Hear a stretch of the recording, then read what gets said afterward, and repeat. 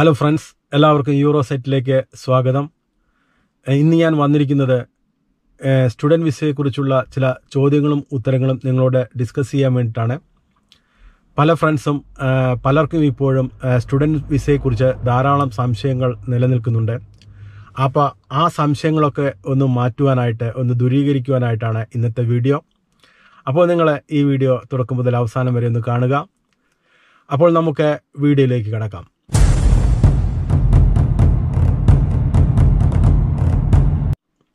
അപ്പോൾ ആദ്യം പറയാൻ പോകുന്നത് സ്റ്റുഡന്റ് വിസ. ആർക്കാണ് ഇത് അപ്ലൈ ചെയ്യാൻ പറ്റുക? ഇവിടെ സ്റ്റുഡന്റ് വിസയ്ക്ക് ആർക്കും വരാൻ സാധിക്കുന്ന ഒന്നാണ്. അതിന് ഒരു ഏജ് ക്രൈറ്റീരിയയൊന്നുമില്ല. ഇത്ര ഒരു ഏജ് ലിമിറ്റ് ഒന്നുമില്ല പക്ഷേ നിങ്ങൾ പഠിക്കാൻ പോകുന്ന കോഴ്സ് നിങ്ങളുടെ ഇതുവരെ പഠിച്ചിട്ടുള്ള കോഴ്സുമായിട്ട് ബന്ധപ്പെട്ടിട്ടുള്ള ഒരു വിഷയം തിരഞ്ഞെടുക്കുന്നതാണ് നല്ലത്. അങ്ങനെ വരുമ്പോൾ നിങ്ങൾക്ക് വിസ കിട്ടാനായിട്ട് യാതൊരു പ്രയാസവും ഉണ്ടാവുകയില്ല. അതല്ല നിങ്ങളെ നിങ്ങൾ പഠിച്ചു കഴിഞ്ഞ ഒരു കോഴ്സും ഇപ്പോൾ പഠിക്കാൻ പോകുന്ന കോഴ്സും തമ്മിൽ യാതൊരു ബന്ധവുമില്ലെങ്കിൽ നിങ്ങളത് എന്തിനാണ് ഈ കോഴ്സിന് പോകുന്നതെന്ന് നിങ്ങളെ പ്രൂഫ് ചെയ്യേണ്ടതായിട്ടുണ്ട്. അപ്പോൾ നിങ്ങൾക്ക് ആർക്ക് വേണമെങ്കിലും ഇവിടെ പഠനത്തിനായിട്ട് വരാവുന്നതാണ്. അതിന് യാതൊരുവിധ ഏജ് റെസ്ട്രിക്ഷൻസും ഇല്ല. അപ്പോൾ രണ്ടാമതായിട്ട് നിങ്ങൾ ഏത് യൂണിവേഴ്സിറ്റി തിരഞ്ഞെടുക്കുന്നു എന്നുള്ളതാണ്. നിങ്ങളുടെ യൂണിവേഴ്സിറ്റി നിങ്ങൾക്ക് അല്ലെങ്കിൽ നിങ്ങൾ ഉദ്ദേശിക്കുന്ന കോഴ്സ് തരാൻ ഉദ്ദേശിക്കുന്നുണ്ടെങ്കിൽ ആ യൂണിവേഴ്സിറ്റി നിങ്ങൾക്ക് ചൂസ് ചെയ്യാം. പിന്നെ ലണ്ടന്റെ ഉള്ളിൽ കിടക്കുന്ന അല്ലെങ്കിൽ ലണ്ടനോട് അടുത്ത് കിടക്കുന്ന യൂണിവേഴ്സിറ്റി നിങ്ങൾ തിരഞ്ഞെടുക്കുമ്പോൾ അവിടെ അക്കോമഡേഷന്റെ ഒക്കെ ചാർജ് താമസ സൗകര്യം കിട്ടാനുള്ള ബുദ്ധിമുട്ട് ഇതൊക്കെ വളരെ കൂടുതലായിരിക്കും. അതുകൊണ്ട് കുറച്ച് പുറം ഭാഗത്ത് അതായത് ലണ്ടനിൽ നിന്ന് കുറച്ച് പുറത്തോട്ടുള്ള അല്ലെങ്കിൽ മറ്റ് യൂണിവേഴ്സിറ്റികളൊക്കെ സെലക്ട് ചെയ്യുമ്പോൾ അവിടെ പൊതുവെ അക്കോമഡേഷൻ കുറച്ച് ചീപ്പായി കിട്ടുവാനുള്ള സാധ്യത കൂടുതലാണ്. മൂന്നാമതായിട്ടാണ് university fees.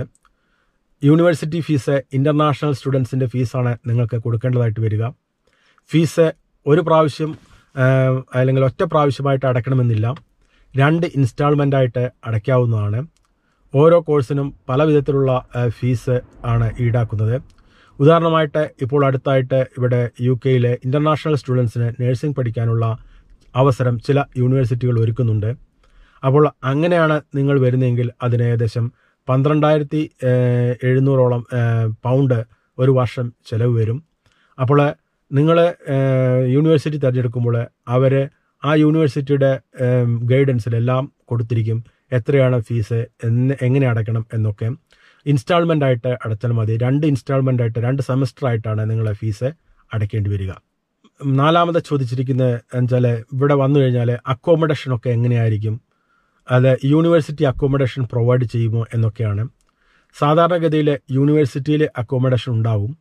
പക്ഷേ അതിനേക്കാൾ ഇവിടെ കാണുന്ന കുട്ടികളൊക്കെ ഒന്നിച്ച് രണ്ടോ മൂന്നോ കുട്ടികൾ ഒരുമിച്ച് ഒരു അക്കോമഡേഷൻ എടുത്ത് താമസം മാറ്റു അല്ലെങ്കിൽ വേറെ സ്ഥലത്തേക്ക് മാറുകയാണ് ചെയ്യുന്നത്. അതായിരിക്കും നിങ്ങൾക്ക് കുറച്ചും കൂടെ ചീപ്പ് യൂണിവേഴ്സിറ്റി അക്കോമഡേഷനേക്കാൾ കുറച്ചും കൂടെ ചീപ്പായിട്ടും കുറച്ചും കൂടെ സൗകര്യം കിട്ടുന്നത് പുറത്ത് ഒരു അക്കോമഡേഷൻ എടുക്കുന്നതായിരിക്കും. അവിടെ രണ്ടോ മൂന്നോ നാലോ കുട്ടികൾ അതായത് റൂമിന്റെ സൗകര്യം അനുസരിച്ച് മാറാവുന്നതാണ്. അപ്പോൾ ഫുഡൊക്കെ സ്വയം പ്രിപ്പയർ ചെയ്യുകയാണ് ചെയ്യുന്നത്. അപ്പോൾ വേ- ഇവ ഇങ്ങോട്ട് വരുന്ന കുട്ടികളെ ചില ചെറിയ ചെറിയ ഫുഡൊക്കെ ഉണ്ടാക്കാൻ പഠിച്ച് വരുന്നത് വളരെയധികം നന്നായിരിക്കും. അടുത്ത ചോദിച്ചിരിക്കുന്ന ഇവിടെ വന്നാൽ പാർട്ട് ടൈം ജോബ് കിട്ടുമോ എന്നുള്ളതാണ്. ഇവിടെ വന്നാൽ പാർട്ട് ടൈം ജോബ് കിട്ടാൻ ബുദ്ധിമുട്ടൊന്നുമില്ല. ഏത് ജോലിയും ചെയ്യാൻ നിങ്ങൾ തയ്യാറാണെങ്കിൽ പാർട്ട് ടൈം ജോബ് എന്തെങ്കിലുമൊക്കെ ആയിട്ട് നിങ്ങൾക്ക് കിട്ടും. ഇവിടെ അങ്ങനെ വലിയ ജോലിയെന്നോ ചെറിയ ജോലിയെന്നോ ഇല്ല. ഇവിടെ ഗവൺമെന്റ് ഒരു ബേസിക് സാലറി ഒരു മണിക്കൂറിന് ഇത്ര പൗണ്ട് എന്നുള്ളൊരു ബേസിക് സാലറി നിശ്ചയിച്ചിട്ടുണ്ട്. ആ നിശ്ചയിച്ച തുക നിങ്ങൾക്ക് കിട്ടിയിരിക്കും. ഇവിടെ സ്റ്റുഡന്റ് ആണെന്ന് വരച്ചിട്ട് അവർക്ക് ജോലി കൊടുക്കാതിരിക്കുന്ന ഒരു സമ്പ്രദായമൊന്നുമില്ല. അപ്പോൾ നിങ്ങൾക്ക് സ്റ്റുഡന്റ് ആയാലും നിങ്ങളുടെ വർക്ക് പെർമിറ്റിൽ അടിച്ചിരിക്കുന്ന എത്ര മണിക്കൂറാണോ നിങ്ങൾക്ക് ചെയ്യാൻ പറ്റുന്നത് അത്ര നിങ്ങൾക്ക് ചെയ്യാവുന്നതാണ്. സാധാരണഗതിയിൽ ഒരു സ്റ്റുഡന്റിന് ട്വന്റി മണിക്കൂറാണ് ചെയ്യാനായിട്ട് പറ്റുക. എന്നാൽ യൂണിവേഴ്സിറ്റി ഓഫ് ആയിരിക്കുന്ന സമയത്ത് മധ്യവേന അല്ലെങ്കിൽ വേനലവധിയുടെ സമയത്തൊക്കെ നിങ്ങൾക്ക് ഫുൾ ടൈം ആയിട്ട് ജോലി ചെയ്യാവുന്നതാണ്. അതിന് ഒരു റെസ്ട്രിക്ഷൻസും ഇല്ല. എന്നാൽ യൂണിവേഴ്സിറ്റി സമയത്ത് ക്ലാസ് ഉള്ള സമയത്ത് ട്വന്റി അവേഴ്സ് മാത്രമേ ചെയ്യാനായിട്ട് പറ്റുകയുള്ളൂ. ഇവിടെ വന്നു കഴിഞ്ഞാൽ ഈ ജോലിക്ക് അപേക്ഷിക്കണമെങ്കിൽ രണ്ട് പ്രധാനപ്പെട്ട കാര്യങ്ങളാണ് വേണ്ടത്. ഒന്ന് നിങ്ങൾക്ക് ഒരു എൻ ഐ നമ്പർ ഉണ്ടായിരിക്കണം. രണ്ട് എൻ ഐ നമ്പർ എന്ന് പറഞ്ഞാൽ നാഷണൽ ഇൻഷുറൻസ് നമ്പർ അത് നിങ്ങളെ യൂണിവേഴ്സിറ്റി പഠിക്കാൻ വരുമ്പോൾ അവരത് പറഞ്ഞു തരും എങ്ങനെ ചെയ്യണമെന്ന്. രണ്ട് നിങ്ങൾക്ക് ഒരു ബാങ്ക് അക്കൗണ്ട് ഉണ്ടായിരിക്കണം. അപ്പോൾ ബാങ്ക് അക്കൗണ്ട് ഓപ്പൺ ചെയ്യാനുള്ള കാര്യങ്ങളൊക്കെ ആ ലെറ്ററൊക്കെ നിങ്ങളെ ഓഫർ ലെറ്ററൊക്കെ കാണിച്ചു കഴിഞ്ഞാൽ യൂണി ബാങ്ക് നിങ്ങൾക്ക് ഒരു അക്കൗണ്ട് തുറക്കാനായിട്ടുള്ള സൗകര്യം ചെയ്തു തരുന്നതാണ്. അപ്പോൾ ഇത് രണ്ടും ഇത് രണ്ടും ഉണ്ടെങ്കിൽ മാത്രമേ നമുക്ക് ഇവിടെ ഏതൊരു ജോലിക്കും അപ്ലൈ ചെയ്യാനായിട്ട് പറ്റുകയുള്ളൂ. പിന്നെ നിങ്ങൾ ശ്രദ്ധിക്കേണ്ടത് നിങ്ങൾ ഏത് വലിയ കോഴ്സിന് വന്നു കഴിഞ്ഞാലും ഏത് പി ജിക്കായാലും ശരി അല്ലെങ്കിൽ നിങ്ങൾ എന്ത് വലിയ കോഴ്സിന് വരികയാണെങ്കിലും നിങ്ങൾ ആ പഠിച്ച കോഴ്സിനോട് അനുബന്ധിച്ചുള്ള ഒരു പാർട്ട് ടൈം ജോബ് നിങ്ങൾക്ക് കിട്ടണമെന്നില്ല. ഇവിടെ അധിക സ്റ്റുഡൻസും വന്ന് ചെയ്യുന്നത് കെയർ ഹോമിലും അല്ലെങ്കിൽ റെസിഡൻഷ്യൽ ഹോമിലൊക്കെ പേഷ്യൻസിനെ ലുക്ക് ആഫ്റ്റർ ചെയ്യുന്ന ജോലിയാണ് അധികവും ആളുകൾ ചെയ്യുന്നത്. അല്ലാതെ തന്നെ നിങ്ങൾക്ക് വേ അല്ലെങ്കിൽ വെയർഹൗസിലൊക്കെ ജോലി കിട്ടും. അങ്ങനെ പല ഇപ്പോൾ കോവിഡ് ആയതുകൊണ്ട് ഷോപ്പുകളിലൊന്നും അധികം ജോലി കിട്ടണമെന്നില്ല. കാരണം പല ഷോപ്പുകളും അടഞ്ഞു കിടക്കുകയാണ്. അവർക്ക് അത്രയ്ക്ക് ആളുകളെ ആവശ്യം വരുന്നില്ല.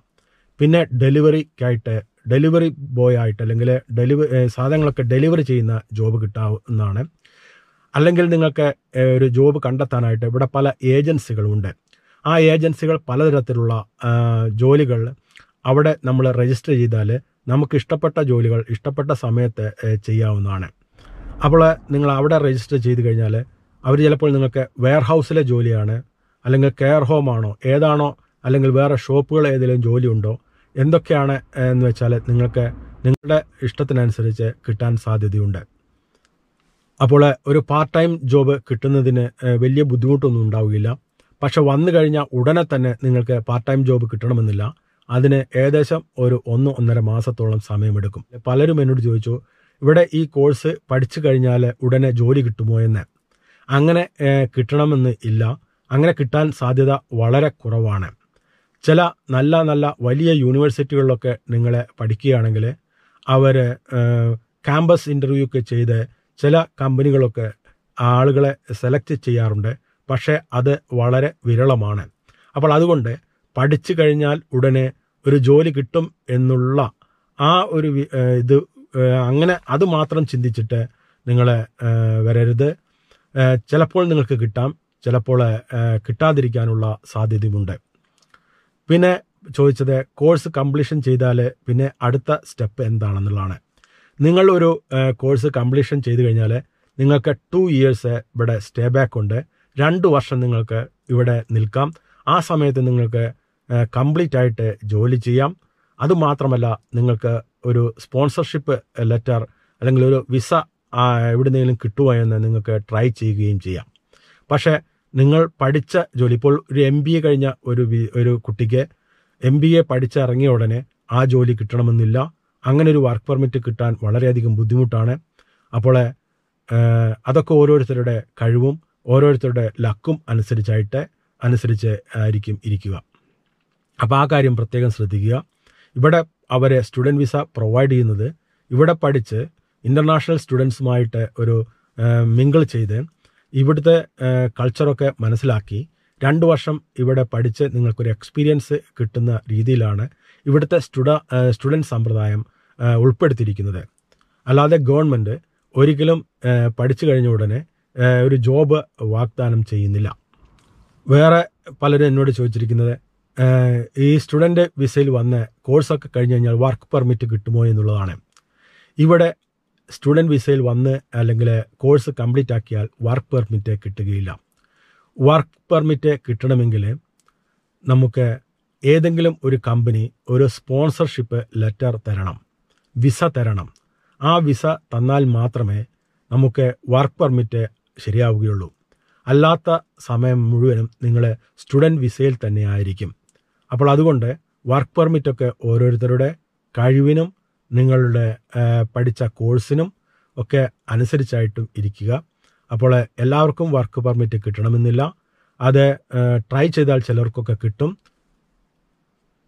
പിന്നെ പി ആർ പി ആർ എന്ന് പറഞ്ഞാൽ പെർമനന്റ് റെസിഡൻസ് ഈ പെർമനന്റ് റെസിഡൻസി കിട്ടണമെങ്കിൽ വർക്ക് പെർമിറ്റിൽ അഞ്ച് വർഷം ഇവിടെ ഉണ്ടായിരിക്കണം. അപ്പോൾ വർക്ക് പെർമിറ്റിലെ അഞ്ച് വർഷം പൂർത്തിയായാൽ മാത്രമേ നമുക്ക് പി ആറിന് വേണ്ടി അപ്ലൈ ചെയ്യാനായിട്ട് പറ്റുകയുള്ളൂ. സ്റ്റുഡൻസിന്റെ കാലാവധി പി ആറിന് കൗണ്ട് ചെയ്യുകയില്ല. ചില ഇപ്പോൾ കൺട്രീസിലൊക്കെ സ്റ്റുഡന്റായിട്ട് വന്നാലും ആ സമയം തൊട്ട് പി ആറിന് കൗണ്ട് ചെയ്യും. എന്നാൽ യു കെയിൽ സ്റ്റുഡന്റ് ആയി വരുന്ന ആ സമയം പി ആറിനായിട്ട് കൗണ്ട് ചെയ്യുകയില്ല. അതുകൊണ്ട് വർക്ക് പെർമിറ്റ് കിട്ടി അഞ്ച് വർഷം അതാണ് പി ആറിന് കൗണ്ട് ചെയ്യുകയുള്ളൂ. അപ്പോൾ ഇത്രയും കാര്യങ്ങൾ നിങ്ങൾക്ക് മനസ്സിലായി കാണുമെന്ന് ഞാൻ കരുതുന്നു. ഇതിനെക്കുറിച്ച് എന്തെങ്കിലും സംശയങ്ങൾ നിങ്ങൾക്കുണ്ടെങ്കിൽ എന്റെ ഡിസ്ക്രിപ്ഷൻ സോറി കമന്റ് ബോക്സിൽ നിങ്ങൾ നിങ്ങളുടെ കമന്റുകൾ അറിയിക്കുക. അപ്പോൾ ഫ്രണ്ട്സ് ഈ വീഡിയോ നിങ്ങൾക്ക് ഇഷ്ടപ്പെട്ടു എന്ന് വിചാരിക്കുന്നു. ഇതുപോലെയുള്ള ഉപകാരപ്രദമായ വീഡിയോ ലഭിക്കാനായിട്ട് നിങ്ങൾക്ക് ഈ ചാനൽ സബ്സ്ക്രൈബ് ചെയ്യാവുന്നതാണ്. ഇത് നിങ്ങൾക്ക് ഉപകാരപ്പെട്ടില്ലെങ്കിൽ മറ്റുള്ളവരിലേക്ക് ഒന്ന് ഷെയർ ചെയ്ത് എത്തിച്ചു കൊടുക്കുക. അപ്പോൾ thank for watching euro sites